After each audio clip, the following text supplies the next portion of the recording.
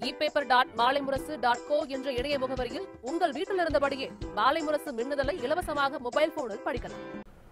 இந்தியாவில் ஊரடங்கால் பாதிக்கப்பட்ட பொருளாதாரத்தை மீட்க மத்திய நிதி அமைச்சர் நிர்மலா சீதாராமன் தினந்தோறும் துறை ரீதியான சிறப்பு பொருளாதார தொகுப்புகளை வெளியிட்டு வருகிறார். அந்த வகையில் இன்று நான்கு கட்டமாக வெளியிட்ட அறிவிப்பில் நிலக்கரித்துறை தனியார் மயமாக்கப்படும் என்பது உட்பட பல்வேறு கொள்கை முடிவுகளை அறிவித்தார். அதன்படி நிலக்கரித்துறை தனியார் மயமாக்கப்படும் என நிர்மலா சீதாராமன் தெரிவித்தார். வணிக ரீதியாக நிலக்கரி எடுக்க தனியார் நிறுவனங்களுக்கு அனுமதி அளிக்கப்படும் என்றும் சுரங்கங்களிலிருந்து எடுக்கப்படும் நிலக்கரி கொண்டு செல்ல போக்குவரத்து கட்டமைப்புகளை வலுப்படுத்த ஐம்பது ஆயிரம் கோடி ரூபாய் ஒதுக்கீடு செய்யப்படும் என்றும் அவர் கூறினார். தனியார்கள் நிலக்கரி எடுக்க முதல் கட்டமாக ஐம்பது சுரங்கங்கள் ஒதுக்கீடு செய்யப்படும் என்றும் நிர்மலா சீதாராமன் குறிப்பிட்டார். இதேபோல் ராணுவ தளவாடத்தில் தன்னிறைவு பெற மேக் இன் இந்தியா திட்டம் செயல்படுத்தப்படும் என்றும் கூறிய அமைச்சர் பாதுகாப்பு துறையின் ஆயுத உற்பத்திகள் அந்நிய நேரடி முதலீடு நாற்பத்தி ஒன்பது விழுக்காட்டிலிருந்து எழுபத்தி நான்கு விழுக்காடு வரை அதிகரிக்கப்படும் என்றார். வெளிமாநில தொழிலாளர்கள் தன்னிச்சையாகவோ நடைப்பயணமாகவோ பிற வாகனங்கள் மூலமாகவோ செல்ல வேண்டாம் என தமிழக முதலமைச்சர் பழனிசாமி வலியுறுத்தியுள்ளார்.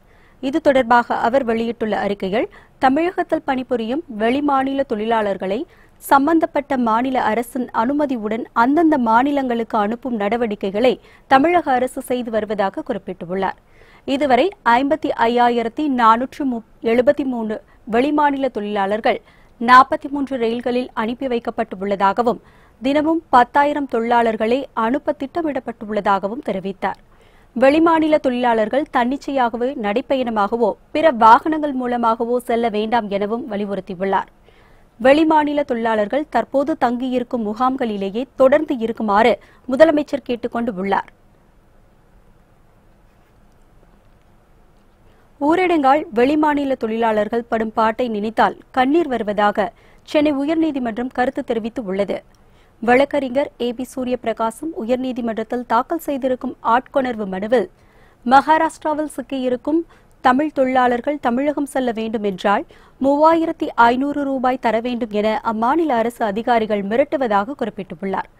சட்டவிரோதமாக அவர்கள் அடைத்து வைக்கப்பட்டு இருப்பதாகவும் தமிழக அரசு உடனே நடவடிக்கை எடுக்க உத்தரவிட வேண்டும் என கோரியிருந்தார். இந்த வழக்கை காணொலி முறையில் விசாரித்த நீதிபதிகள் ஊரடங்கால் பாதிக்கப்பட்டுள்ள வெளிமாநில தொழிலாளர்களின் நிலையை பார்த்தால் கண்ணீரை கட்டுப்படுத்த முடியவில்லை என கருத்து தெரிவித்தனர். மேலும் ஒவ்வொரு மாநிலத்திலும் உள்ள புலம்பெயர்ந்த தொழிலாளர்களின் எண்ணிக்கை எவ்வளவு? ஒவ்வொரு மாநிலத்திலும் எத்தனை தொழிலாளர்கள் சிக்கியுள்ளனர்?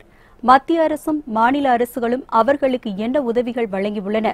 சொந்த ஊர் திரும்பும் வழியில் எத்தனை தொழிலாளர்கள் பலியாகியுள்ளனர் என்பது உள்ளிட்ட பல்வேறு கேள்விகளை எழுப்பி மத்திய மாநில அரசுகள் விரிவான பதில் மனு தாக்கல் செய்ய நீதிபதிகள் உத்தரவிட்டு உள்ளனர்.